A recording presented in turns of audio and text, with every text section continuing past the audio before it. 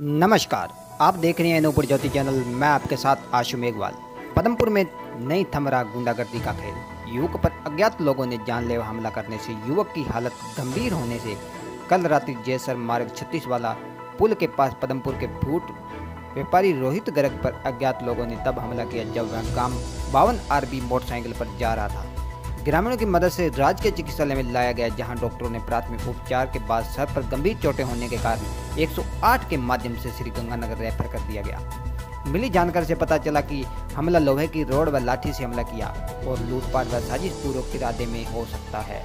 Police ने घटनास्थल का मौका मुआयना कर अपनी जाँच शुरू कर दी है। वहीं देर रात तक हॉस्पिटल में मौजूद बड़ी संख्या में लोगों ने उक्त घटना की कड़े शब्दों में निंदा करते हुए कहा कि गुंडागर्दी व लूटपाट, चोरी सहित अन्य अपराधी की घटनाएँ बढ़ने से लोग अपने आप को असुरक्षित महसूस करने लगे हैं। यदि पुलिस ने तुरंत प्रभाव से दोषियों को गिरफ़्तार नहीं किया तो इसके गंभीर परिणाम भुगतने के लिए तैयार रहना होगा।